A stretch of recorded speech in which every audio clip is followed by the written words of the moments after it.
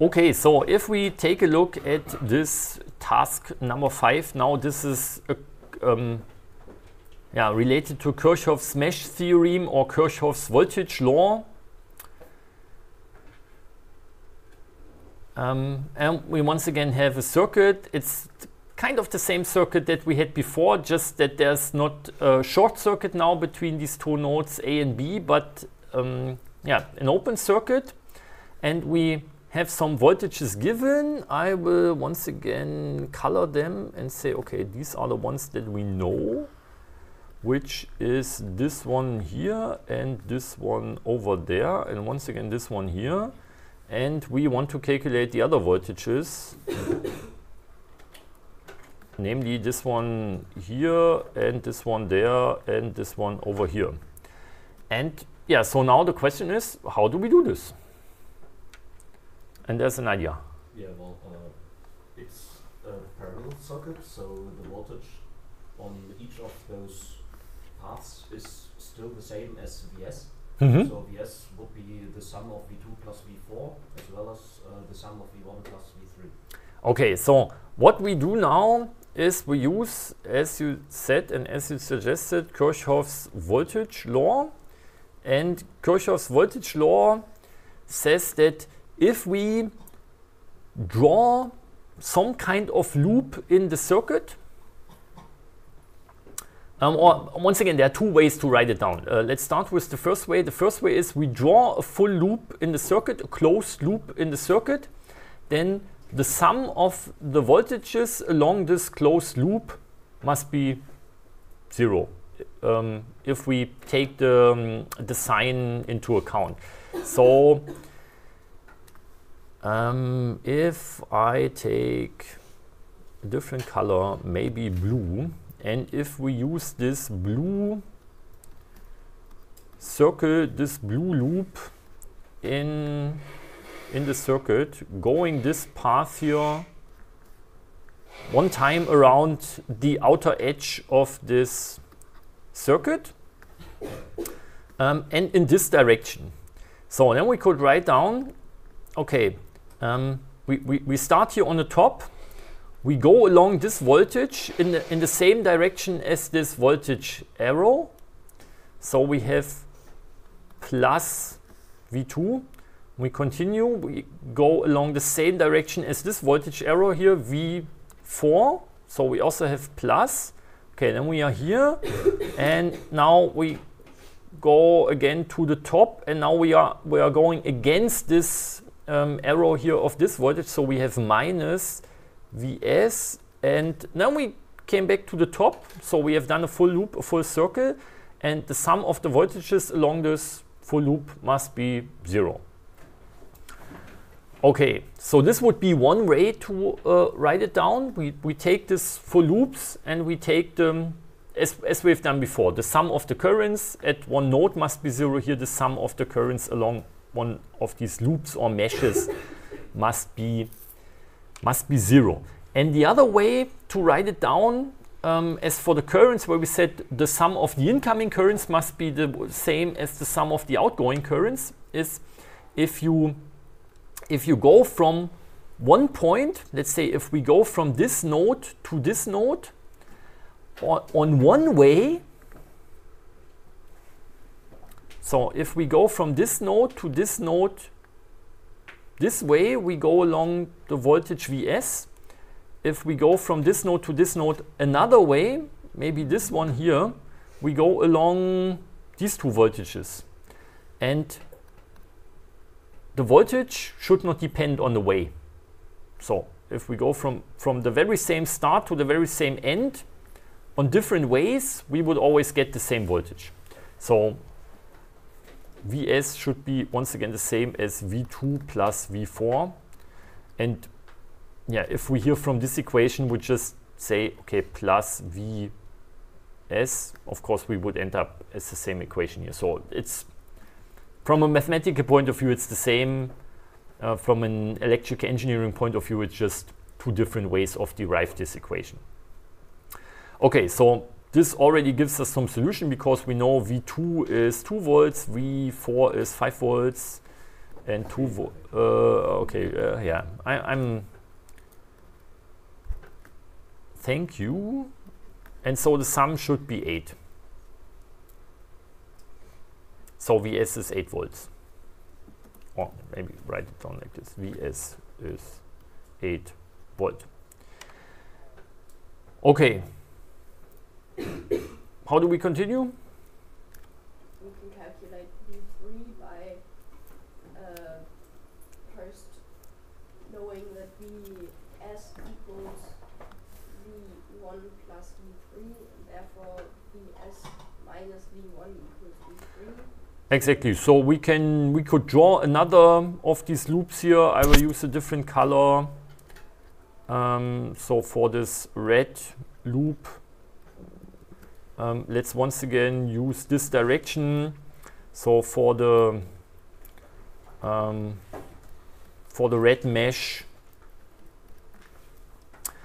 we can say that V1 plus V3 minus V source equals zero, or we could, yeah, uh, we could write it down the other way, but we want to know V3, so we rearrange this equation and say, okay, it's V source minus V1, um, insert the values, 8 volt minus uh, 2 volt, and we end up with 6 volt. And if I if I add this um, as I've done before to the circuit, maybe let's use black once again and say here um, here we have 2 volt, here we have 6 volt, then this totally makes sense that here we have 8 volt for the source and here we um, have 3 volt and 5 volt so this also makes sense. 3 and 5 gives us also 8. Okay, so how do we find the last missing voltage? So first I have to think uh, what the path would be. So V1 and then uh, V1 plus VAB plus V4 equals uh, the source. For example, so we could we could also do it like this. Um, I have still green left as a color, so we could go this loop here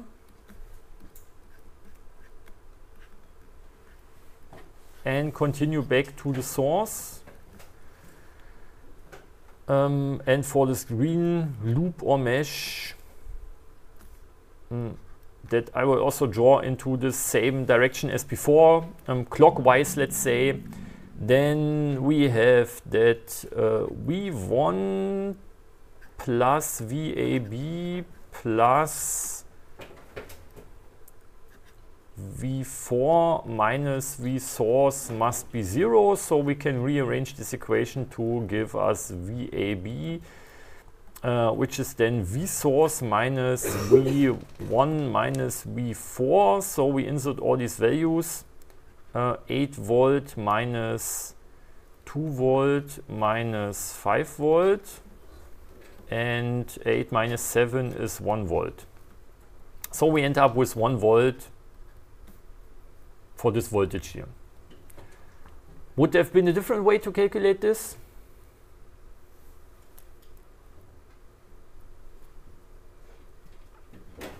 There would have been plenty of different ways to calculate this. So I have still some colors left. Um, for example, this green color here. So we could have also drawn a loop uh, or yeah, draw, drawn a loop and set up a Kirchhoff's voltage law for this loop here. And for this loop,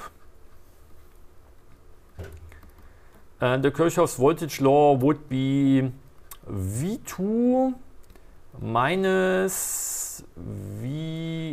VAB minus V1 equals 0. So from here we could have also calculated VAB as V2 minus V1 and insert the values 3 volt minus 2 volt would be also 1 volt in this case.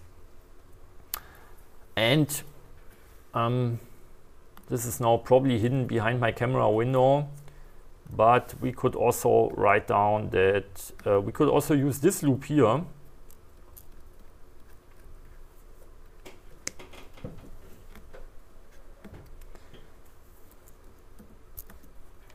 In the same very same direction um, clockwise and say okay for this fourth loop uh, we could write that VAB plus V4, which is this one here, minus V3 equals 0. So VAB um, should be the same as V3 minus V4. And if we insert the values, then um, V3, what we calculated is 6 volt and V4 is 5 volt, so we also end up with 1 volt here. So, if you do it correctly, of course it fits at the end. Um, and there, there would be, I, I, don't know, if I have a color left, maybe gray. Um, so we could also draw a loop like this, go this way, go down here, go in a different direction of this VAB, go down here and return back to the source. And we could also write down an equation for this gray loop here. And if we do this, we once again would end up with the very same things. So, um, yeah, for these Kirchhoff's voltage laws and for these meshes, there for given circuit always much, much, much more options to write down um, these laws, these Kirchhoff's voltage laws. So for the nodes, you can count them. This circuit, as we've done before for the Kirchhoff's current law, there are four nodes and we have three independent nodes, so we can write down three independent Kirchhoff's current laws to calculate the circuit. Um, and for the Kirchhoff's voltage law, or for this, for this mesh theorem, you can you can write down almost endless possibilities for these loops. Um, as long as they are closed, you, you could also go up and down and up and down and up and down once again. Um, as long as if, if, it's a closed loop, you can always write down the Kirchhoff's voltage law. Still, at the end, if we do circuit simulation, of course, we need to have independent equations. So the question is, um, how do you find independent equations in this case?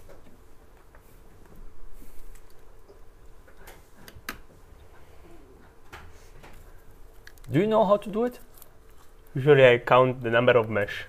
Yeah, but how do you count the number of mesh? Because now we have already written uh, written down. So I've, I've not really counted this here, but this was already one, two, three, four, five, or if I can, uh, one, two, three, four. Okay, this is the fifth one. I could also write down a sixth one for this for this gray loop. Um, and we, we could think about more ways to write down loops in this circuit um, if we go if we would go additional circuits. But at least we can write down six without problems write down six uh, meshes for the circuit.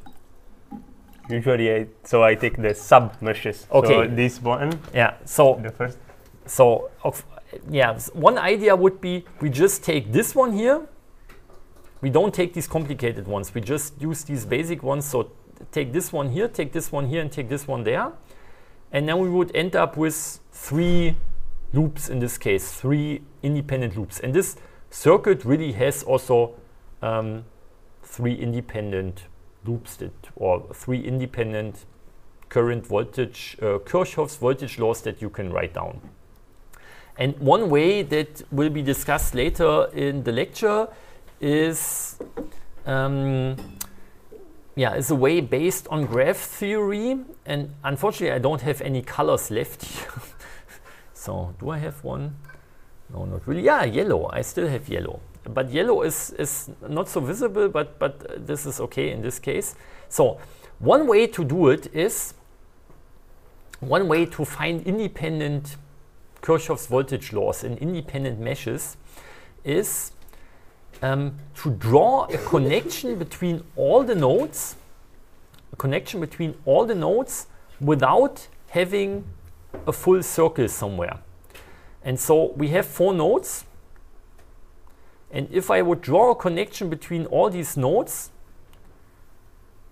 then a connection between all these nodes would look like this. Now if I, I've connected all nodes, but I've not drawn a circle somewhere.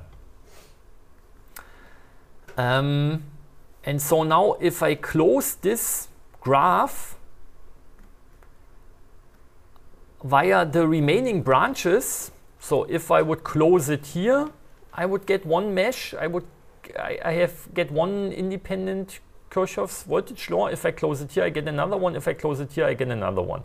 So I get three in this case, which makes sense. So here uh, we, we get three.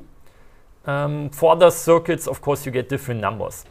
And another way to do it, mm, I think here it also, yeah, maybe does not work that well, but yeah, maybe, maybe not. Um, so in general, what you can also do is you can count the number of, of, of elements, the number of branches in the circuit.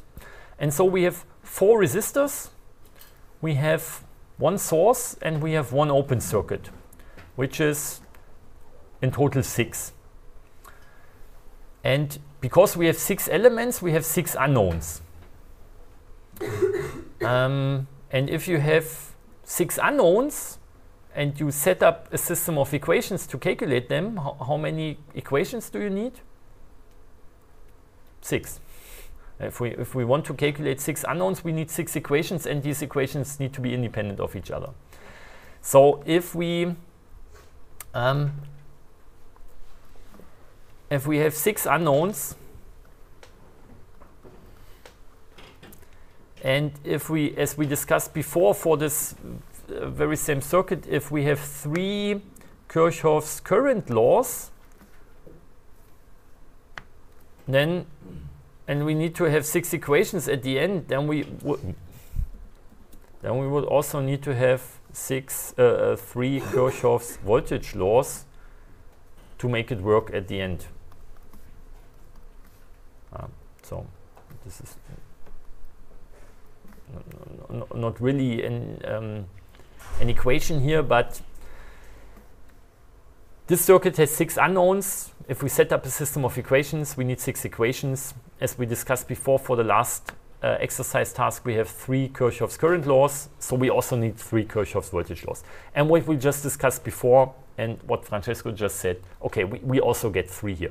We, can, we could write down much more, but once again, they are then dependent of each other. Um, and so, for example, um, maybe maybe last thing that we can discuss here is if we take. Um, I will I will try to squeeze it into the last row here. Um, if we take this mesh, this mesh, and this mesh, so the red one, the green one, and the purple one, then we should end up with our blue one that we had at the beginning. Because the blue one is the one that encircles the red, green, and purple. So uh, let's take this gray color once again. So if we start with the red one, which was this one here. So we take V1 plus V3 minus V source. So then we add the green one. The green one was this one here. So plus V2 minus VAB minus V1. And if we also add the purple one, the purple one was this one here, which is VAB plus V4 minus V3 and and this at the end of course should be zero because if we add this and this and this the other side of this equation is still zero. So now if we check what happens here is okay we have v1 and v1 they will cancel here. We have vab plus and minus they will cancel here. And we have v3 plus and minus here so they will also cancel. And what is left then Uh, once again, I think in the um, recording this will be hidden behind my camera window, unfortunately, is uh, V2 plus V4 minus V source. And this is uh, exactly what we started with here right at the beginning, the, the blue equation. Yeah, so they are really dependent of each other. If you take this and this and this, you will end up with the blue one that we started with at the beginning. And the problem here is that you cannot really count them. You can write down much more meshes um, than at first, let's say, they are visible in the circuit. Okay, further questions related to this exercise task? Um, then what we can maybe once again quickly do is oops, calculate this in, simulate this in LTspice. So I will draw a new schematic. Uh, I will once again move this to this side and put the, the original exercise task on the other side. And so now this voltage, as we discussed, this voltage is given, this voltage is given, and this voltage is given. Now I need something that fixes the voltage because we, we know these voltages. And this is a voltage source. So I will once again go to component and select a voltage source. The voltage source is called voltage. Um, and this is yeah the more American symbol for the voltage source. So I will put a voltage source V1 here and V2 there and V3 over there and rename this to V4 to make it not so confusing and I will also already give them the known voltages which is 2 volt in this case and 3 volt and 5 volt. And for the for the elements where we don't know um, the voltage yet and where we want to calculate it I will once again use resistors so place one resistor here, once again rotate this by uh, 270 degree and once again by 200, no, I think this one should point downwards. Okay. Um, so give them one ohm in this case and rename them to be RAB, R 3 and R source. And um, place place some ground node somewhere. And just wire everything together. And as you see these soldering dots disappear if the element is properly connected and if I create a node, such a node will be created or will be drawn. And there's our full circuit and we can once again name this as node A and this one as node B.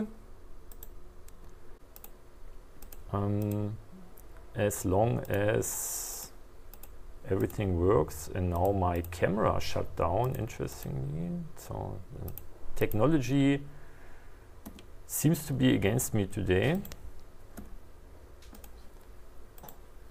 I will just give the resistors as before 1 ohm and this was 2 volt 3 volt and 5 volt right? Yes okay. So um, yeah, now we can click run. Uh, just use this DC operating point once again. And this is the result that we get. Um, so I will move this to this side and have our handwritten solution here somewhere in the back. So click on run once again. Um, yeah, and now if we um, if we want to have the voltages, we can just check the currents through these resistors because resistances are set to 1 ohm. So current and voltage should have the same value, even if the voltage is in volt and the current is in ampere. Um, so our our unknowns that we calculated, um, maybe I can encircle them here once again in the solution with the blue thing here, have been Vs. This is what we calculated here, 8 volts. It was V3, this is this one here, 6 volts. And we also calculated VAB, which was calculated here and there and maybe here at different uh, positions. And this was 1 volt. So 1, 6 and 8. And now we can check the current, um, and I've not really nicely labeled them here. So this is RAB, this is R3, and this is R source. And recalculate once again. So the current through this resistor is 1 ampere corresponding to the 1 volt that we had before. The current through this resistor is 6 ampere corresponding to 6 volt and the current through this source there is 6 ampere corresponding to the 6 volt that we have. Um, and yeah, so if we would finally um, label this remaining node here with C on the top, uh, and we can also check and, and calculate the, um, the voltage at these nodes and this is the voltage with respect to our ground node, to the reference node. So the voltage at node A is 6 volt, at B it's 5 volt, at C it's 8 volt. And this also corresponds to what we have here. This is 6 volt here along this path. It's 5 volt here along this path to our to our reference node, to our ground node. Uh, so I would add this the ground symbol also here and it's 8 volt from this node C to the ground node. so this also nicely works and fits. Last thing that I would like to do is once again uh, use this task, um, copy it and have another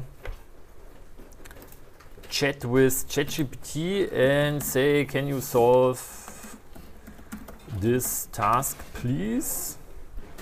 And insert here and, and ch check what, what it will do in this case. So it's calculating something and it once again repeats the task, says here we have some given values and all the voltages are integrated across resistors, yes, and we need to use, uh, we can use Kirchhoff's voltage law, which is quite a good idea, and sets up some formula and says, okay, Vs, the voltage across the source, is V1 plus V3. If we check, or if we check here, this, this makes sense, right? This would be, would be this loop here. Um, but cannot do something with this because just the voltage V1 is given. Okay, so then to the right loop, whatever the right loop is, VAB is V2 and V4. Um, does this make sense? VAB? No, this does not make sense uh, because V2 and V4 would be the voltage across the source. And so calculates wrongly that this is 8 volts. At least it's including the units here.